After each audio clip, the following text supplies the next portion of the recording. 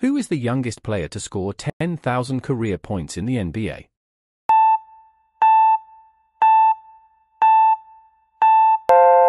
LeBron James. Which NBA team has won the most championships?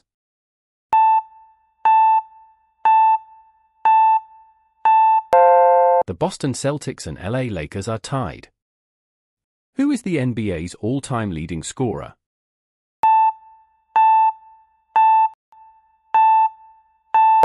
LeBron James. Who was the first foreign-born player to be drafted first overall in the NBA?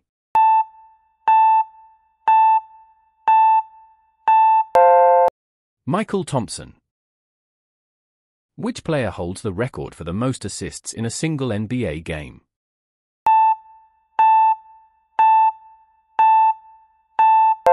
Scott Skiles.